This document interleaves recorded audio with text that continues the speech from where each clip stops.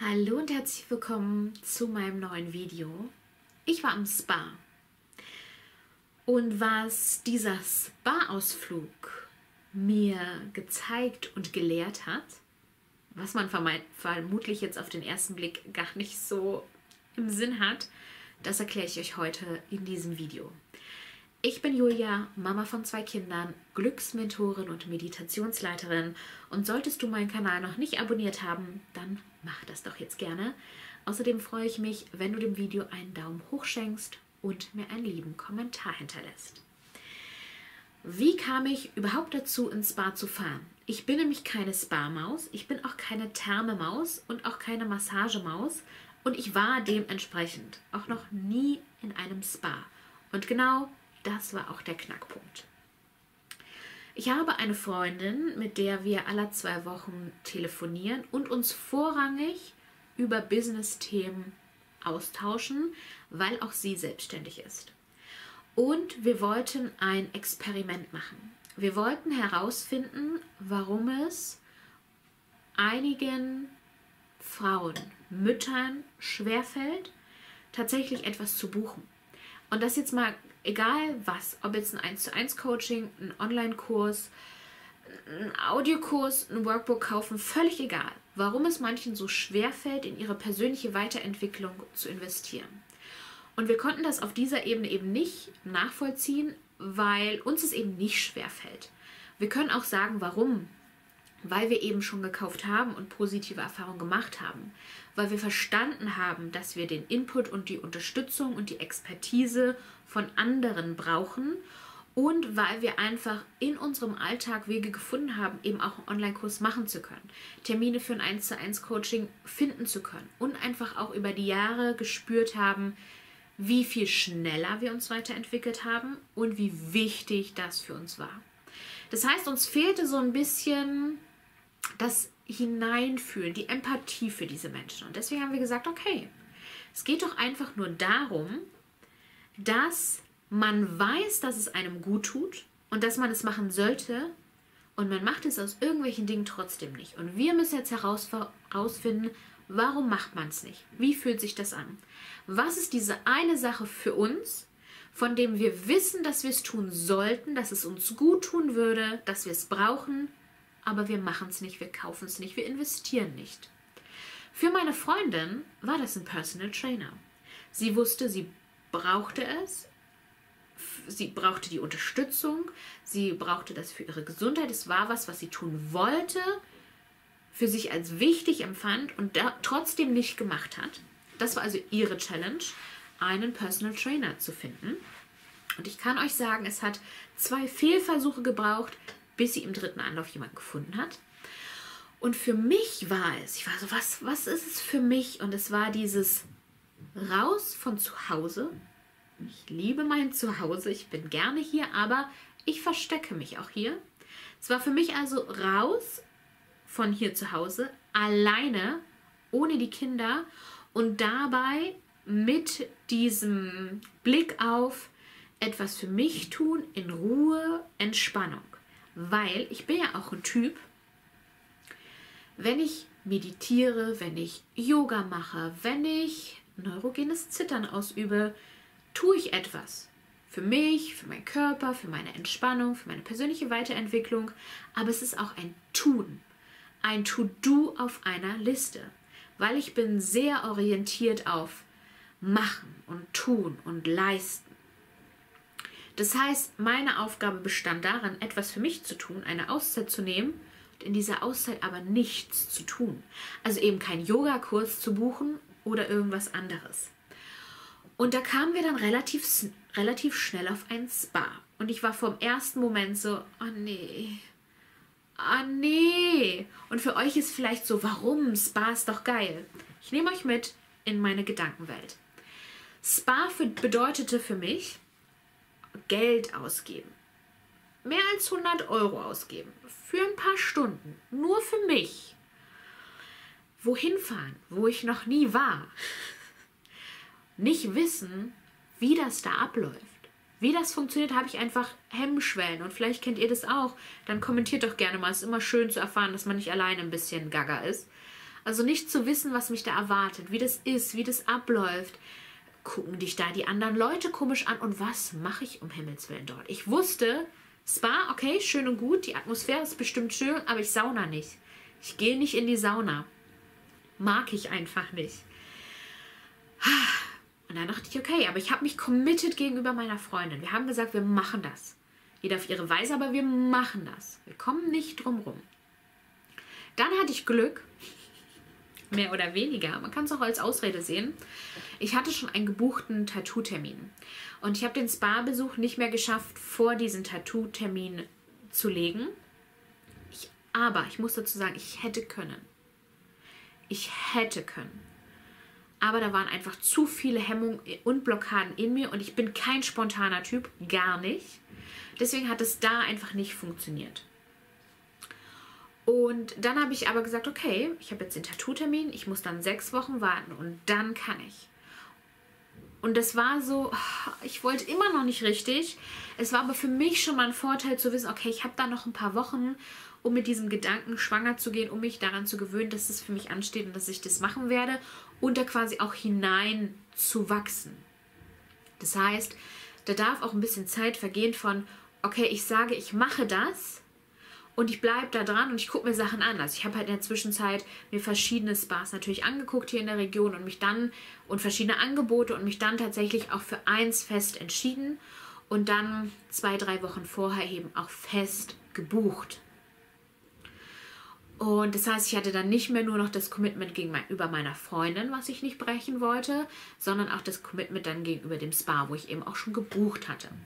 Also da auch, was könnt ihr jetzt als Tipps da für euch rausziehen, wenn euch sowas schwer fällt, eben so Dinge zu buchen, Dinge nur für euch zu kaufen, Zeit, Geld zu investieren, macht es vielleicht mit einer Freundin. Macht vielleicht einen und denselben Kurs zusammen. Oder du kaufst den Kurs und sie kauft den Kurs und ihr habt dann dieses Commitment euch selbst gegenüber und könnt euch da immer wieder auch motivieren. Und man will dem anderen nicht sagen, dass man es nicht gemacht hat. Willst du nicht. So. Und dann rückte dieser Spa-Besuch natürlich immer näher. Und meine Gedanken waren trotzdem noch, oh, ich gebe hier über 100 Euro für, für, für fünf Stunden nur für mich aus. Das ist ganz anderes, wenn ich mit den Kindern den Ausflug gemacht hätte und wir alle was davon gehabt hätten. So denken wir nun mal. Also auch mir fällt das noch schwer, so nur in mich zu investieren und nicht in einen Online-Kurs, von dem ich ja Wissen habe und mich weiterentwickeln kann, sondern es ging nur darum, mich auszuruhen. In einer neuen Umgebung, nicht hier zu Hause, also auch meine Komfortzone zu verlassen. Ich habe dann aber gemerkt, umso näher dieser Termin rückte, ich fand das alles gar nicht mehr schlimm. Das mit dem Geld war halt so. Über die Wochen hatte ich mir das ganz fest eingeplant. Ich hatte für mich dann auch so, hey, okay, wenn dir das schwer fällt, das einfach so auszugeben, wie kannst du denn dieses Geld beschaffen? Und habe dann zum Beispiel meinen Keller ausgemistet und Dinge auf eBay Kleinanzeigen verkauft oder Bücher auf eBay Kleinanzeigen verkauft und dieses angehäufte Geld in ein Portemonnaie gesteckt und es war halt zumindest anteilig dieser Spa-Aufenthalt. Das hat mir so gedanklich einfach auch ein bisschen geholfen. Und es war einfach ein fest eingeplanter Betrag für diesen Monat in diesem Zeitraum. Punkt. So, und dann hatte ich mir natürlich ganz viele Bilder von dem Spa angeguckt und ich habe tatsächlich gegoogelt, was macht man in einem Spa, was zieht man in einem Spa an, wie verhält man sich in einem Spa. Habe ich alles gemacht ähm, und mich einfach so auf dieses Thema eingestellt. Kann man ja auch machen, wenn wir jetzt weiter in diesem Kontext denken, ein Coaching zu buchen, einen Online-Kurs zu kaufen, einen Yogakurs zu buchen. Man kann sich Erfahrungsberichte durchlesen. Man kann Fragen stellen, die man hat. Ne, ich habe auch an das Spa geschrieben und Fragen gestellt, die ich hatte. Und habe da gemerkt, oh, die sind super lieb und nett. Da habe ich mich schon gut aufgehoben gefühlt. Also auch so gucken, na, halt auch sich die Website, den Instagram-Account anzugucken und ein Gefühl dafür zu kriegen, wo ich da hingehe und was ich da kaufe. Und das kann man ja mit solchen Produkten eben dann auch machen. Und dieses, ich habe mich dran gewöhnt. Ich hatte das mir gegenüber versprochen, ich hatte es meiner Freundin gegenüber versprochen und ich habe mich einfach über die Wochen daran gewöhnt, dass ich halt ins Spa gehen werde. Und natürlich habe ich mich auf der Fahrt dreimal verfahren. Und natürlich war es beim Ankommen erstmal so, wo muss ich jetzt hin, was mache ich jetzt, ist alles ein bisschen awkward gerade. Und dann fand sich aber alles und alle waren super lieb und super nett und super hilfbereit. Ist wahrscheinlich auch einfach in so einem Spa so. Und ich hatte die Zeit meines Lebens. Es war so schön. Es war eine richtig tolle Atmosphäre. Ich hatte eine ganz tolle Massage. Super leckeres Essen. Es war wundervoll. Ich hatte, ich würde sagen, seit Jahren nicht mehr so ein entspanntes, freies, tolles Gefühl und habe das richtig genossen und war richtig entspannt auf der Rückfahrt, habe das nochmal so richtig schön sacken lassen können und fand es einfach wundervoll. Nimmst ja dein Handy da nicht mit rein oder ich habe das nicht gemacht, ne? Und auch so ist ja alles ganz ruhig und leise. Du kommst da rein und alles ist schon ruhig, leise, gedämpft, wunderschöne, sanfte Musik. Alle sind ganz leise und lieb und oh, der Wahnsinn. Und ich weiß jetzt schon, dass ich da nochmal hinfahre. Ich weiß jetzt schon, dass ich da nochmal hinfahre und dass ich auch mal ein anderes Spa fahre und mir das da mal angucke. Das heißt, ich habe diese erste Hemmschwelle, diese erste Hürde überwunden. Ich habe es zum ersten Mal gemacht. In eurem Fall, ihr habt zum ersten Mal ein Coaching gebucht oder einen Online-Kurs gemacht und habt gemerkt, hey, ist alles gar nicht so schlimm, ist alles voll toll und das Geld hat sich fünfmal gelohnt. Fünfmal hat sich das gelohnt wow. Und auch dieses Gefühl, also ich bin dann auch in diesem Tag und habe gedacht, okay, und ich will das Maximum hier rausholen. Und immer wieder in diesem Gedanken, ich tue das für mich. Ich bin mir das wert, das Geld, die Zeit, die Fahrerei, mein Grenzen überschreiten, also meine Grenzen überwinden, Komfortzone verlassen. Das bin ich mir alles wert. Ich liebe mich so sehr, dass ich das für mich tue. Ich weiß, dass das eine gute Sache ist, die mir gut tun wird. Ich habe mir das verdient ich gönne mir das. Das ist ja immer so ein bisschen eine schwierige Ausdrucksweise, wir müssen uns gar nichts verdienen. Ähm, aber immer so in diesem, mit diesen Hintergedanken und diesem, ey, die letzten Wochen waren so scheiße. Gott sei Dank, ohne dass ich wusste, dass die Wochen so scheiße werden, habe ich mich darauf verpflichtet und habe das gebucht und mache das hier jetzt heute. Das war genau das Richtige zum richtigen Zeitpunkt. Und deswegen meine Botschaft an euch, wer gerne wollen würde und irgendwie nicht kann, weil er da eben so gedankliche Blockaden in seinem Kopf hat. Nochmal zusammengefasst meine Tipps. Pro Tipp, der beste Tipp, sucht euch jemanden, der das mit euch gemeinsam macht. Und ich habe ja mit meiner Freundin nicht dasselbe gemacht. Aber wir haben uns beide darauf committed, dieses Ding für uns zu machen. Aus diesen und jenen Gründen. Also find auch, warum du das für dich machen willst, was dir das tatsächlich auch bringt. Dann, wenn du ein spontaner Typ bist, mach es sofort. Es gilt ja theoretisch eigentlich diese Regel, mach das innerhalb der ersten 72 Stunden, sonst machst du es gar nicht. Für mich galt es nicht. Für mich galt dieses, ich muss mich gedanklich erstmal daran gewöhnen. Aber auch dieses, hey, wenn ich mir einmal was verspreche und vornehme, mache ich das auch. Weil sich selbst immer wieder was zu versprechen und es da nicht zu halten, damit verletzt du immer wieder dein Vertrauen in dich selbst. Also mach das nicht. Aber wenn du das brauchst, wachs gedanklich in dieses Thema rein. Bleib dran, beschäftige dich damit. Guck dir Instagram-Accounts, äh, Webseiten, alles Mögliche an. Bleib da dran, fütter deinen Kopf immer wieder mit diesem Thema, damit dein Kopf, deine Gefühlswelt sich daran gewöhnen kann. Wir machen das.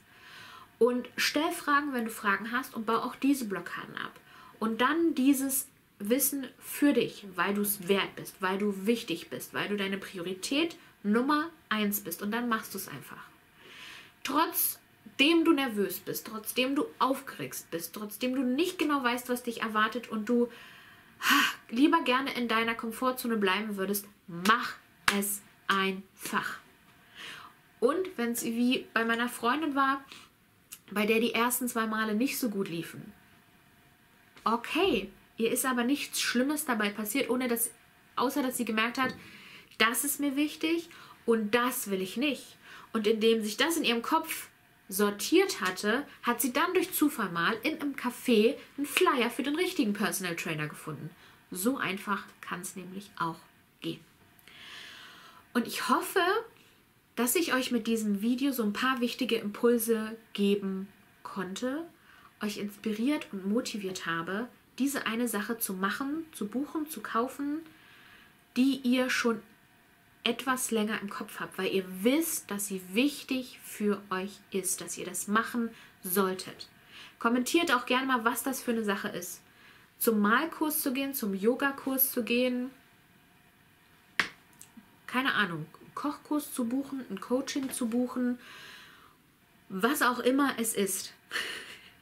Und kommentiert gerne, was ihr aus diesem Video für euch mit herausgenommen habt an Aha-Moment, an wichtiger Information, an dem Ding, was euch weitergebracht habt. Dann bedanke ich mich sehr fürs Zuschauen, für eure lieben Kommentare. Gebt dem Video einen Daumen hoch, wenn ihr das noch nicht getan habt. Und wir sehen uns dann ganz bald wieder beim nächsten Mal. Bis dahin. Tschüss.